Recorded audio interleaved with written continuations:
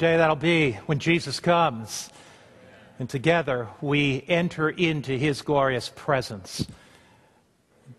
The wonderful reality is that Jesus beckons us from his sanctuary above to enter into his presence today. During our meeting this morning, I've been praying that the Holy Spirit would touch our hearts in a very special way. Our chairperson this morning announced that I had retired. My wife teases me and tells me the only thing I have retired from is my salary. When the General Conference session took place in Atlanta, Elder Wilson, our newly elected General Conference president, asked if I would stay on as his administrative assistant, and so I have been doing that 50% of my time, and then I work as an editor for the Adventist World and Review another 20% of my time, and have some other projects as well. So uh, God has still enabled us to serve, and we thank Him for that. I want to talk to you about spirituality and ministry, revival in our own hearts. Shortly after the General Conference session, I met with Elder Wilson, and we began to talk about our leadership and God's desire to move powerfully in His church. We recognized with a world approaching 7 billion people, it would be almost ludicrous to think about reaching that world unless God did something special. And so we began to meet with a small group of General Conference leadership team and study the Bible. We would study for an hour and pray for an hour. And Bible study groups broke out all over the General Conference Center and facility. We focused initially on the book of Acts, and we opened the Word of God, and we read chapter by chapter together. We analyzed what God was doing in the book of Acts, and then we would kneel and at times be on our knees for an hour, praying for one another, praying for our church, praying for the leadership team. We broadened that base to the departmental leaders at the General Conference, and when our division presidents came in, we put agenda aside and we spent time studying the Bible. We spent time praying. We spent time seeking God. And we began to sense in our own lives, in our own hearts, a spiritual renewal. This morning, I want to share with you the essence of renewal and what God is calling this church to and what he's calling ministry to in a deeper spiritual experience. Now, I want to be very respectful of the seminars that are going to follow this. If God takes control of this meeting, and if the meeting goes a little longer than we anticipated, and you have prepared your seminar, don't be concerned about that. The value is that I have two meetings and I can shorten my next meeting so that we still will have that one hour or that 50 minutes that have been set aside for your seminar. So I know how it is. Sometimes I have been in meetings and I've sat there and I've had a seminar. I've spent all this time preparing and the speaker goes 15 minutes over and I say, My, I want you to know that we will be respectful of that and we can adjust in our next meeting. So let's pray. Father in heaven, we just want to thank you so much for what you're doing among the administration and the pastors of this union.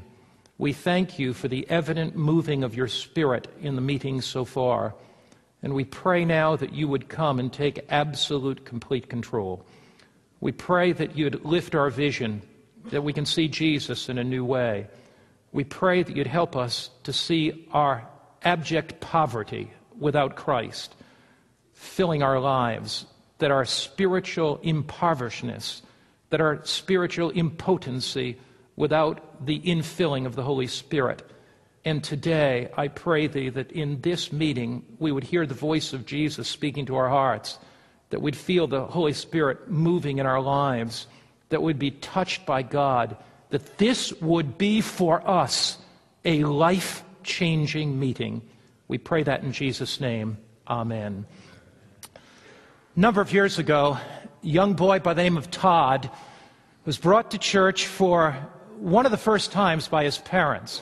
His parents weren't church going people, and they occasionally went on Christmas and maybe on Easter, but that was it.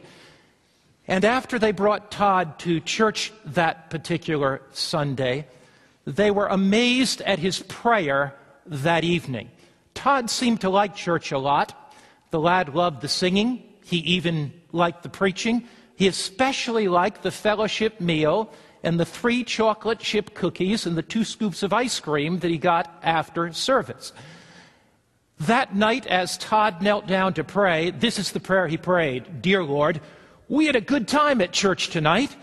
There was singing, there was praying, and there was preaching. Oh God, I wish you could have been there. If God does not show up on Sabbath morning in your church, it's all a sham, it's all pretense, it's all nothingness. I pray every time I go into the pulpit, God, you show up. God, you be here. God, you move by your Holy Spirit. God, you do things that I have not dreamed of in the heart and mind of my congregation. Is your church different because you've been there for three years, four years, five years? Do your elders struggle with the same jealousy, the same bitterness, the same anger, the same lust? Is the spiritual quality of your church different because you are known as a man, a woman anointed by the Holy Spirit? One who every time you step into the pulpit, every time you do a prayer meeting, every time you have a church board meeting, God comes down. Some man, some woman, some boy, some girl is changed. Jeremiah chapter 14, verse 3 and 4 says, Their nobles have sent their lads for water.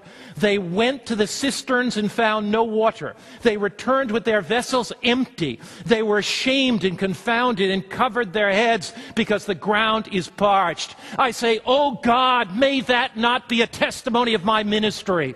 That they come to my church and the ground is parched. There is no moving of the Holy Spirit at all. Oh God, when they come, may fountains of living waters flow through me because I've come to Christ and you're moving through my life and hearts are being touched and lives are being changed.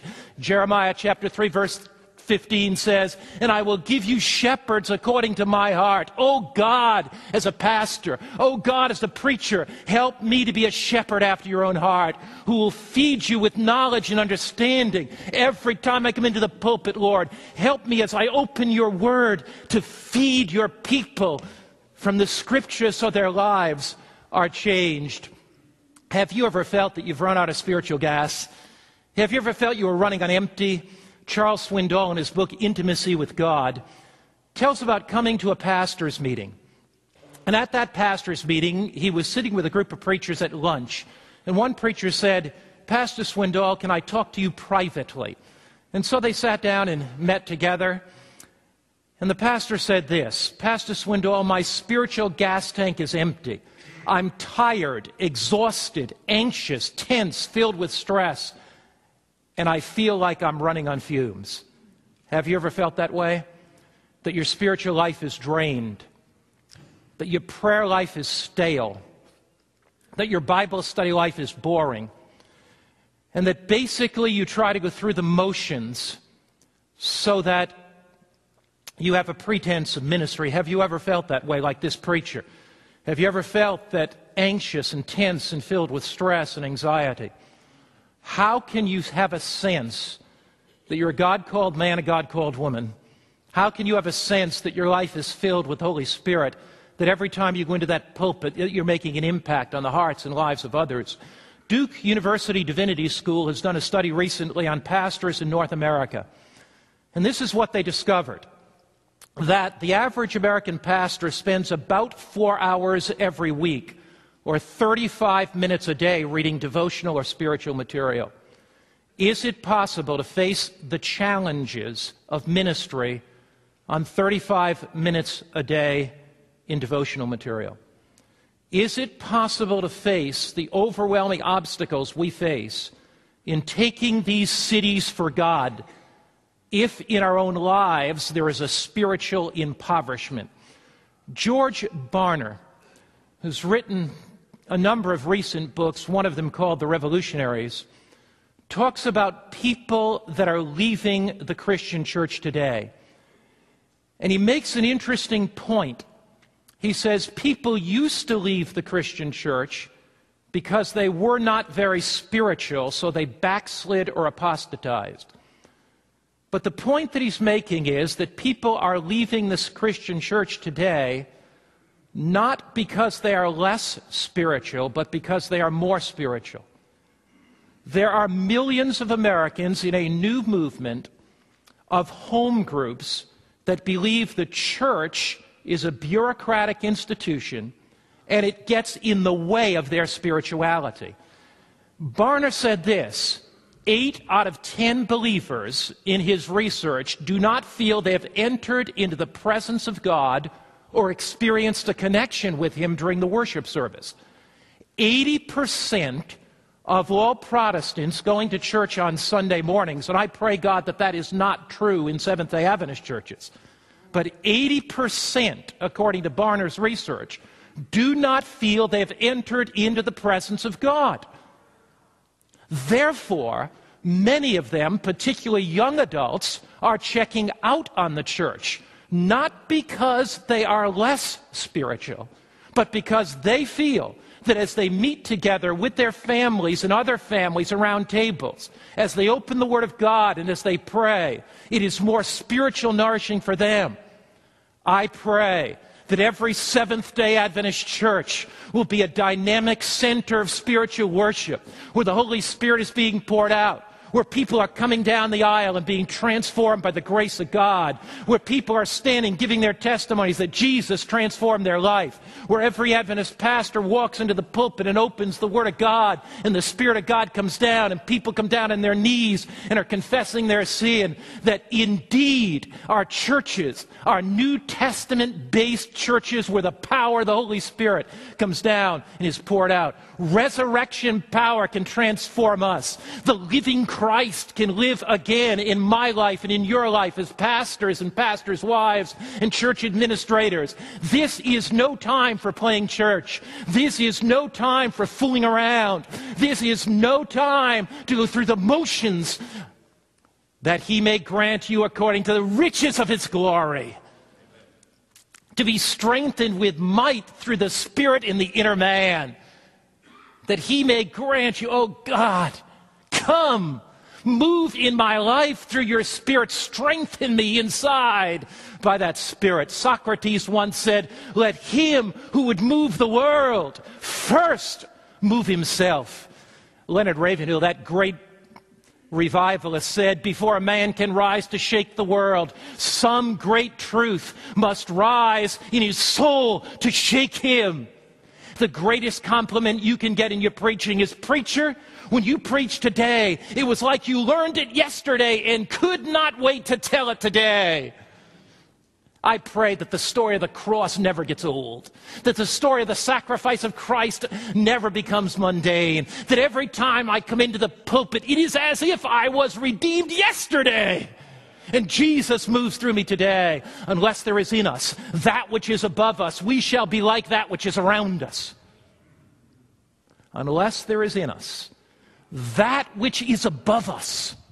We shall be like that which is around us. E.M. Bounds, great revivalist, said, We've emphasized sermon preparation until we've lost the most important thing to prepare be prepared the heart. A prepared heart is much better than a prepared sermon. Oh, God, prepare my heart. Prepare my heart on my knees before I preach. Prepare my heart when I stand before your people. Do something in me so you can do something through me. Do something to me so you can do something with me. Alexander Whyte put it this way A congregation is waiting to be made by you after you are made by God. A congregation is waiting to be made by you while you are waiting to be made by God. I love what W.H. Criswell said Oh, that God's messenger may say, I wasn't wrapped in academic robes on the Lord's day. I wasn't hiding behind degrees on the Lord's day. I wasn't trying to say what men would say on the Lord's day. When I walked into the pulpit, maybe poor English. Remember, Dwight Moody was preaching one day, and a lady came to him and said, Pastor Moody, she was an English teacher. Praise God for all those English teachers in the audience. She was an English teacher and she came to Moody and she said, Moody, do you know you made 42 grammatical errors in your sermon today? And Moody said, My dear, I'm using all the English I know to win souls to Jesus. What are you doing with the English you know? When I walked into the pulpit, maybe poor English, maybe faulty construction, maybe homiletically unsound, there I stood, as I was in what I could do. That I did say and preach in the power of the Spirit, for I was in the Spirit on the Lord's day. May every Adventist preacher, I pray that God will give us theologically accurate, homiletically sound sermons. That is absolutely fundamental. But all the academic soundness and the homiletical exegesis that is accurate and the theological integrity without the unction of the Spirit is cold, barren formality that will not transform a life. When I walked into the pulpit, that I did say and preach in the power of the Spirit, for I was in the Spirit on the Lord's day. A preacher must be formed before they're informed.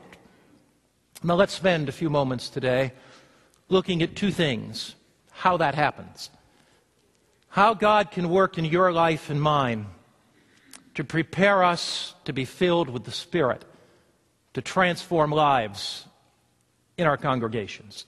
I want to look at two things. First, the prayer life of Jesus and make some applications to our lives. And secondly, the Bible study life of Jesus. Because it is through knowing God that we can share God. No superficial religious experience will do. If you are an administrator here today, a conference president, a union president, ministerial secretary, treasurer, church officer, and in your heart you know you're going through the motions, in your heart you know you've lost it, I pray God will touch you today. If you're a pastor and you're going through the motions and you know it, I pray God will touch you today. What is spiritual revival? It is the renewal of a deeper experience with Jesus on a daily basis. Revival is not an event in the life of the church, it's an ongoing daily experience. The prayer life of Jesus, let's take a look at it. There are three things I want to notice about the prayer life of Jesus.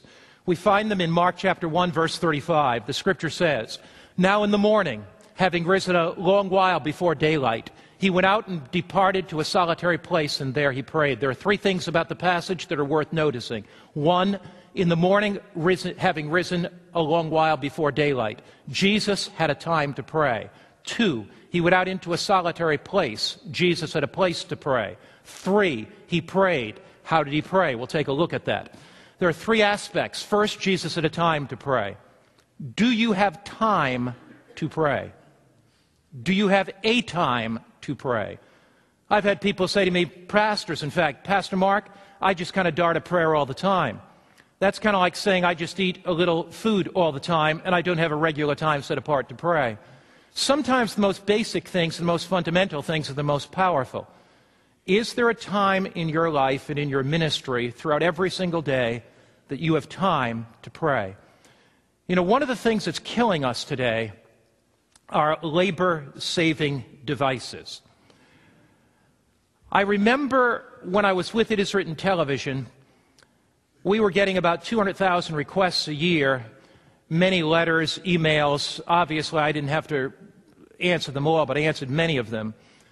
Trying to write books, doing 35 new television scripts a year, raising about $10 million a year. The North American division uh, financed the media center, but our ministry was receiving in direct subsidy about 100,000 a year and we had to raise at that time our budget was 10.2 million dollars a year so i knew i had to raise $900000 a month and if we didn't raise that we laid off staff or cut stations i recognized as well that evangelism was my calling and i was traveling like everything across america holding four or five evangelistic meetings a year so here you're writing books you got 200000 letters coming in and sure we had a staff I acknowledge that. But at times I felt so incredibly overwhelmed. And I can remember going into my office Cell phone. My staff said to me, Mark, you need a cell phone because that'll save you a lot of labor. Well, I got a cell phone. Then they said, you need to be sure that you answer all these emails. Then you get text messaging. And pretty soon, the time to be alone, the time to be quiet. And I can remember time after time going into my office, and I had my devotions early in the morning, but I would go in at 10 o'clock in the morning. I would work until 10, and I'd say to my secretary, from 10 to 11, I want nothing now. I just need time to be alone with God. I need time to pray.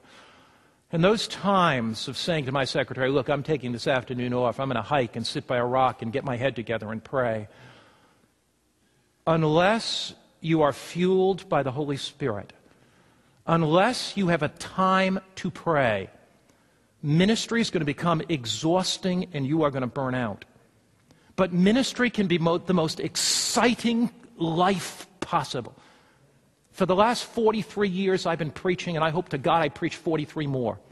I love evangelism. I love ministry. I love sitting down with some person and opening the Bible and seeing them kneel and come to Jesus and getting my arms around them. I love standing before an audience in any place in the world and preaching and seeing those people come down the aisle.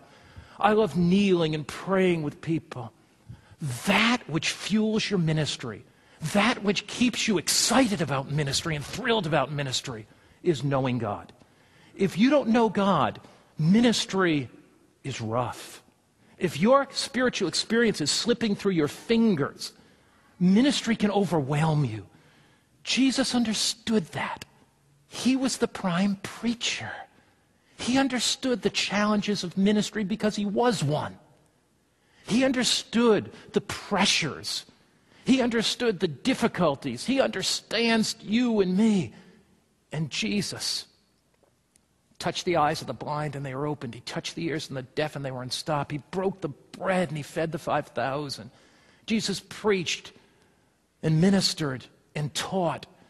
And on the hillsides of Galilee, gave that magnificent Sermon on the Mount as Jesus ministered physically, mentally, spiritually to people, he recognized that in a life of giving, he could not make an impact on hearts and minds and lives unless power came from the Father. So Jesus had a time to pray. Do you have a time to pray? A time set apart every single day to pray. R.A. Torrey said, We are too busy to pray, so we're too busy to have power. We have a great deal of activity, but we accomplish little. Many services, but few conversions. Much machinery, but few results.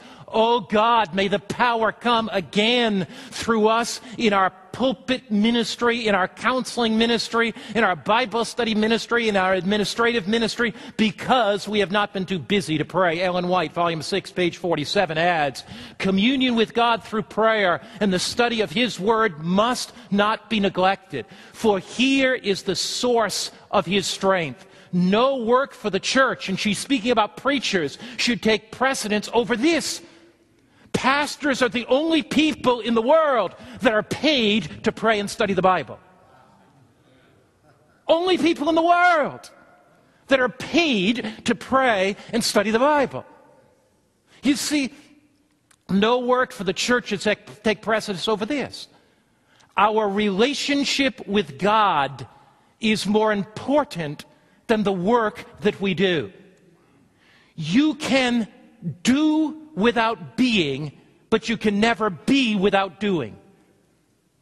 When I am God's man and His Spirit fills my heart and His love breaks my heart, it leads me and prompts me to be more active in service and ministry and gives more effectiveness.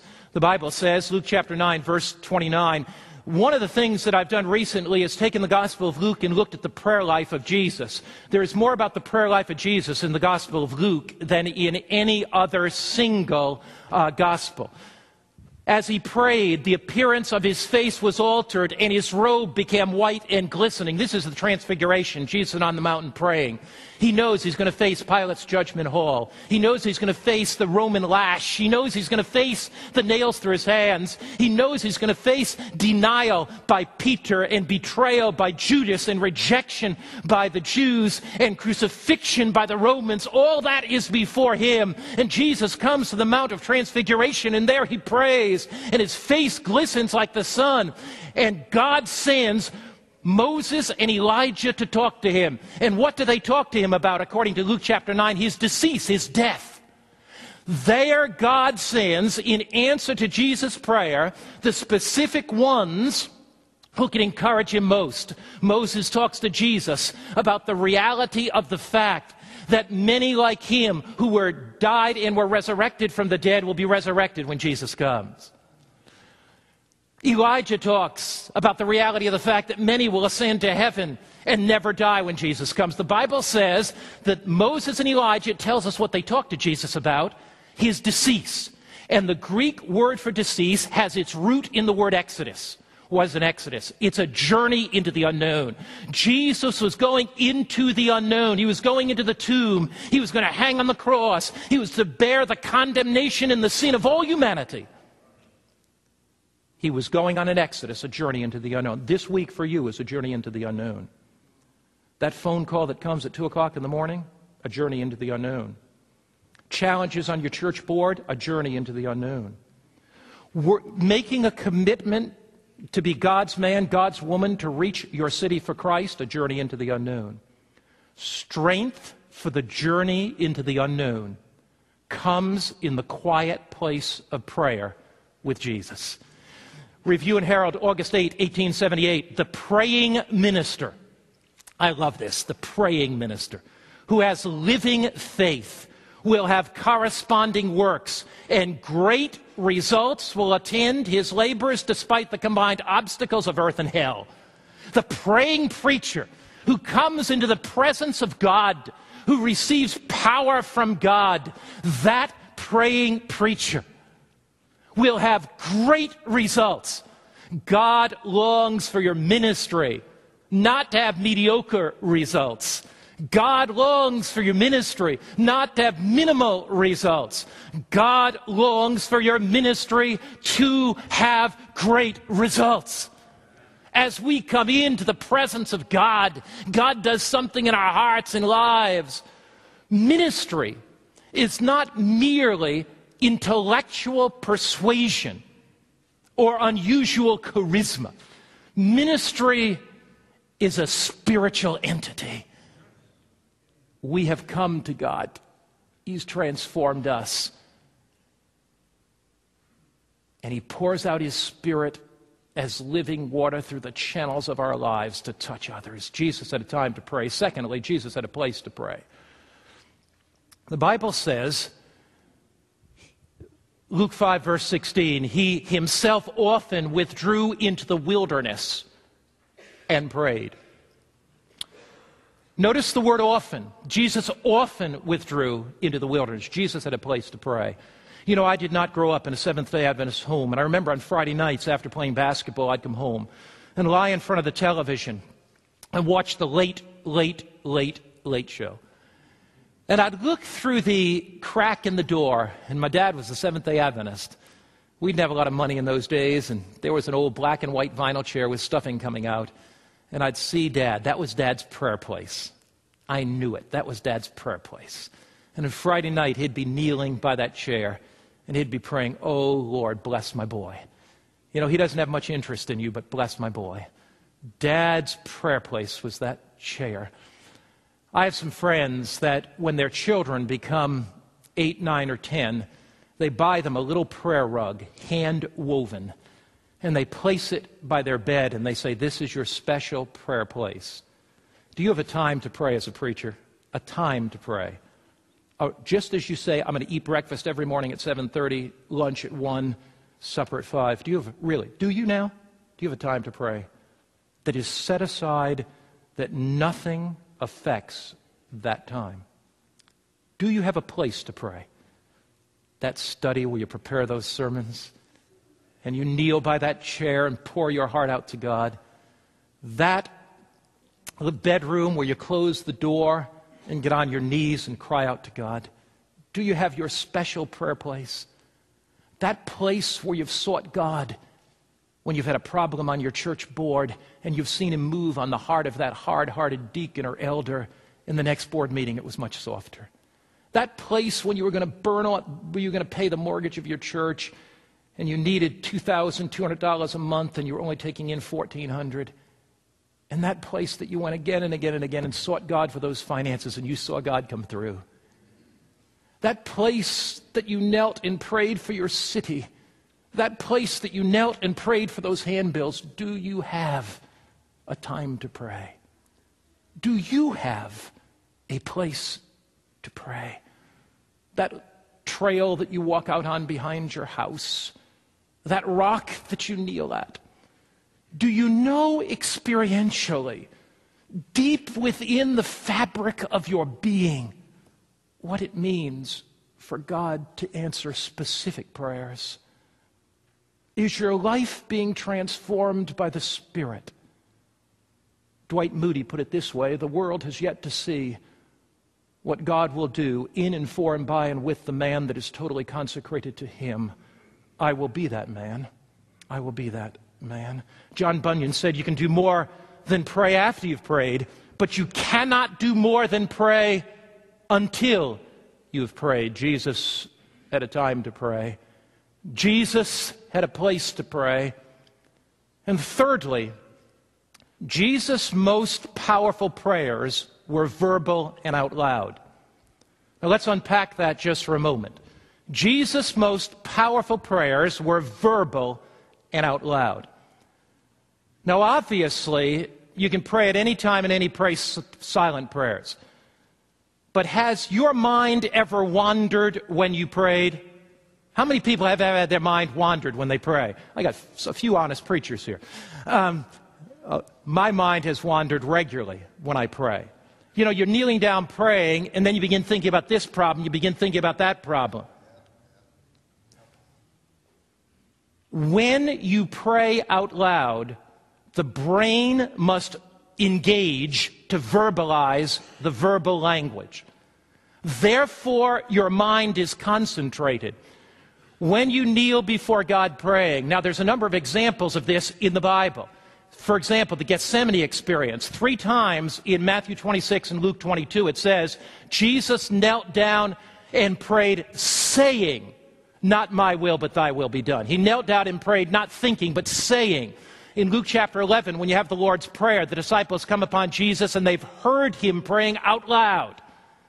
In Hebrews chapter 5, it talks about Jesus' prayers, and it says he offered up prayers and supplications with vehement cries and tears to him who is able to save him from death. So Jesus prayed out loud. No, I've had people say to me, but Pastor, if I pray out loud, the devil's going to hear me, so I pray silently so the devil does not hear me.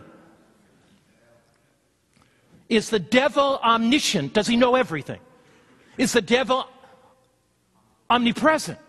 No, the devil's a single being. He can send his evil angels, but when you're praying, God surrounds you with good angels, and the host of hell trembles, we are told.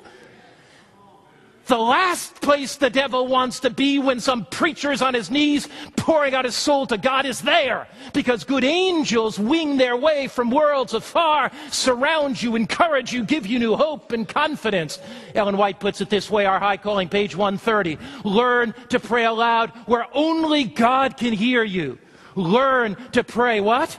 Aloud where only God can hear you as we pray. Angels come, give us hope, give us confidence. As we are on our knees, Jesus comes and speaks to us. Do you have a time to pray? That time that you have set aside just for you and God. That time of uninterrupted fellowship with God. Do you have a place to pray? Do you know the joy of kneeling before Him and pouring out your soul? Some of the richest times in my own devotional life have been kneeling with my Bible open, quietly in my study, praying through the Psalms using the Psalms as subject matter, matter of prayer. God is our refuge and strength, a very present help in trouble. Reading the Psalms aloud, letting God talk to me through the Psalms. God is our refuge and strength, a very present help in trouble. Therefore will not we fear, though the earth be removed and the mountains carried into the midst of the sea. Lord, I'm fearful today. Fearful about this church board. Fearful about this committee at the GC. Fearful about my kids. Lord, I have a lot of fear today, a lot of worry, a lot of anxiety. Fearful about my personal finances, fearful about the finances of the church. Lord, I worry a lot about our city, the people that don't know Jesus. God is our refuge and strength, a very present help in trouble. Speak to me, God, through the Psalms today. Take away my fear. Enable me to have courage and hope. Draw me close to you. Do you have a time to pray? A place to pray? Day by day, are you opening the Word and letting God speak to you through His Word as you speak to Him? I love the words of the song, Draw Me Close. Let your love surround me. Bring me near. Draw me to your side. And now, as I wait before you, let me fly like an eagle into your presence. Would you like to kneel this morning and say, God, change me inside? Lead me to a deeper relationship with you. Move in my life in a powerful way. Change me. Thank you, Lord, for everything you've done in my life. But it's not enough. I want more. Before I can go home and lead my people into revival, my own heart must be revived. Before I can share your grace with others, I need an infilling of your grace. Before I can preach with power, I need to be empowered. Before you can do something through me, you must do something to me. Before you can do something with me, you must do something for me. Draw me close. Let your love surround me. Bring me near. Draw me to your side. Let's kneel together where possible. Let's sing that chorus together.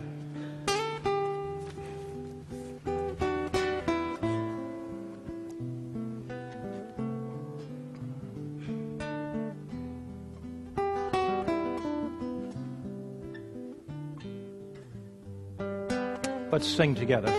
Draw me close.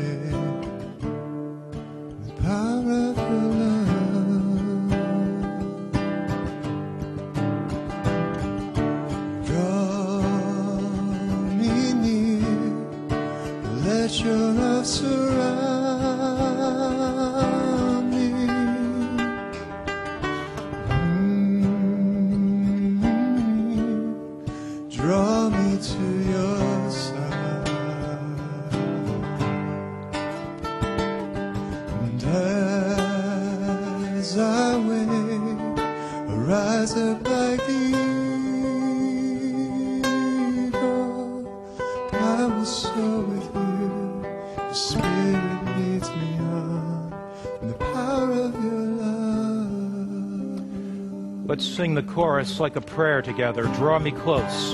Draw me close. Let your love surround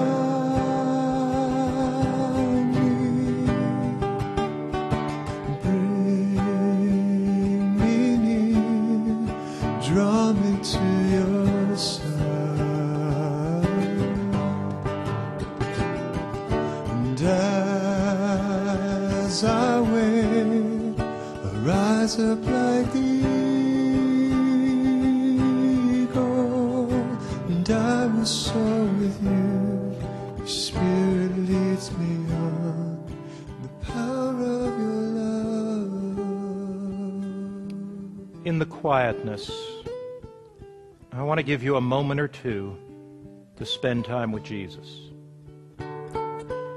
If there's somebody here and your relationship with Jesus has been slipping, he longs for you to return to his arms. He longs for you to return to his presence.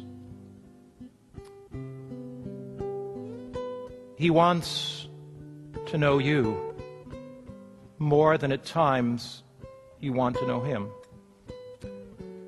If you're facing some challenge in your church, your ministry, talk to him about it. If administration has bogged you down and the mechanics of the church have overwhelmed you, talk to him about it. If your devotional life has been weak and your prayer life has been minimal and your Bible study life has become a drudgery, talk to him about it. Let God speak to you now. Let him renew your ministry in this place. Let him recharge your spiritual batteries in this place. When every other voice is hushed, let the voice of God speak to your soul in this place. Just now.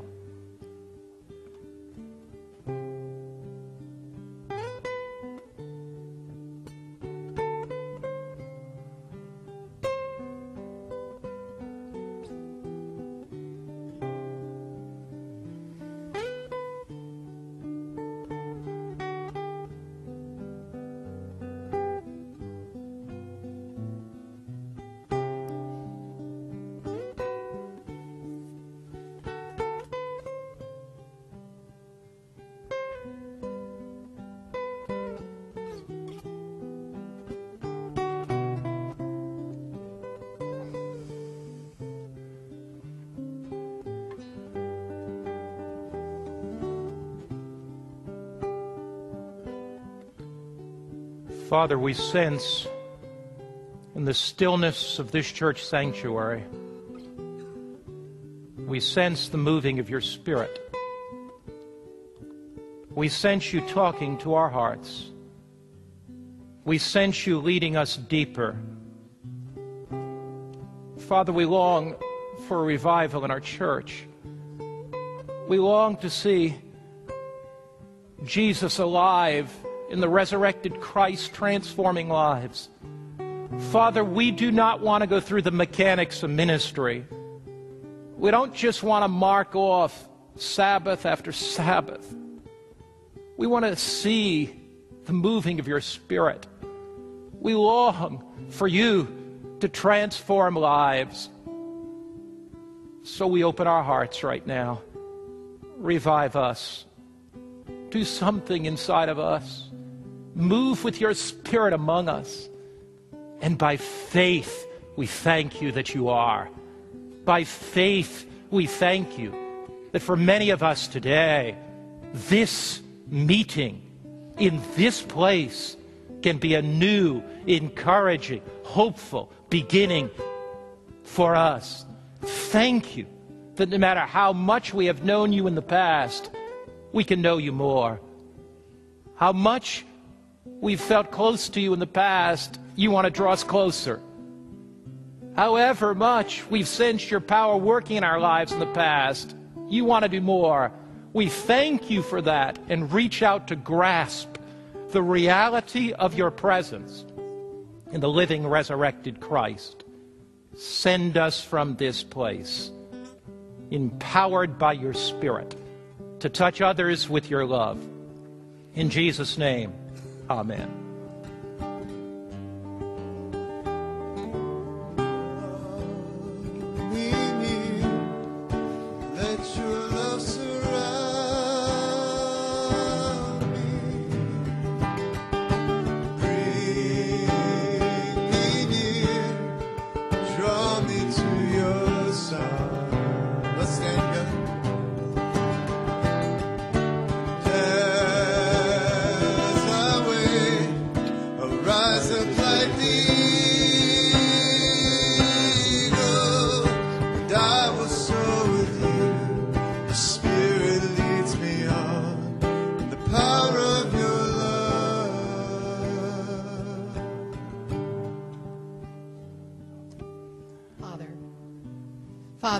To you.